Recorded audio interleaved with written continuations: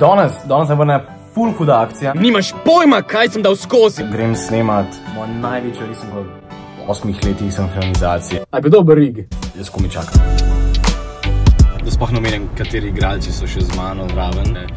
Kot del tega zdaj, ful sem hvaležen za tole res.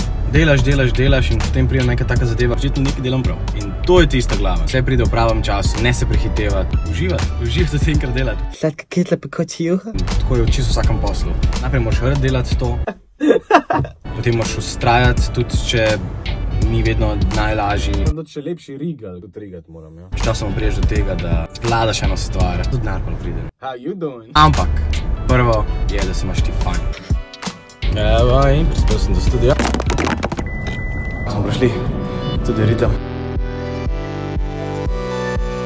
Slano bomo pas.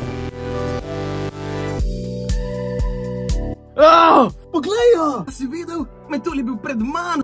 Kaj pa ti počneš tu? Prosim, ostani. Vem, da ti bo všeč. You know you love a girl, come on. To je ta slovenski šarm.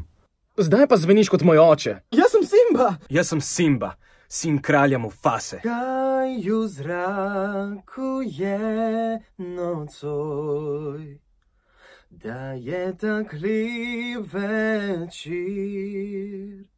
A je bilo v redu? Ul, če kupite. Nimaš pojma, kaj me je doletelo. Kaj že beseda? O, Ga bomo griznil z velikim besom, ajde. o to pa bo zdaj em emotional rad, ali? Žal mi je. Ne znam biti tako, kot si bil ti.